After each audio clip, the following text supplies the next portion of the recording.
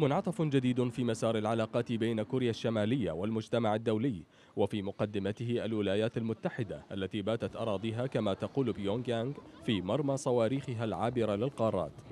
ووفقا للتلفزيون الحكومي الكوري الشمالي فإن صاروخ هوا سونغ 15 الذي أطلقته وصل لارتفاع 4475 كيلومترا وهو ما يعادل عشرة أضعاف ارتفاع المحطة الفضائية الدولية. وحلق لمسافة 950 كيلومترا. تضع التجربة الصاروخية الكورية الشمالية العصا في عجلة الجهود الإقليمية والدولية الرامية لإنهاء الأزمة في شبه الجزيرة الكورية وتفتح أبواب التوتر على مصراعيها. وهي تأتي بعد مدة قصيرة من قرار الرئيس الأمريكي دونالد ترامب إعادة إدراج كوريا الشمالية على لائحة الدول الداعمة للإرهاب ما يمهد لفرض مزيد من العقوبات عليها. كما سمعتم وبعضكم قام بنشر الخبر فقد تم إطلاق صاروخ من كوريا الشمالية. وأود أن أبلغكم بأننا سنهتم بهذا الأمر. تناقشنا مع الجنرال ماتس مطولا بهذا الشأن وسوف نعالج الوضع. لم تمض دقائق على إعلان إطلاق الصاروخ البالستي الكوري الشمالي حتى رد جيش جارتها الجنوبية بإجراء تدريبات صاروخية لإيصال رسالة واضحة لبيونغ يانغ كما تقول.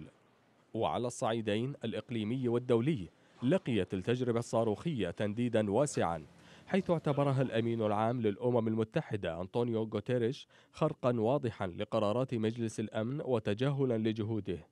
كما رأت فيها روسيا التي يزور وفدها البرلماني كوريا الشمالية استفزازا وتقليلا لفرص تسوية الأزمة في المنطقة. وطالبت اليابان التي سقط الصاروخ البالستي في منطقتها الاقتصادية البحرية بمزيد من الضغط على النظام الكوري الشمالي لوقف تهديداته. الرئيس مون جاي ورئيس الوزراء شينزو آبي أجريا محادثة هاتفية بشأن التجربة الصاروخية وقالا إنهما لا يتسامحا مع التهديدات الأمنية المتزايدة لكوريا الشمالية. كما أعربت الصين عن قلقها ورفضها لما سمته تجاوز كوريا الشمالية للقرارات الدولية.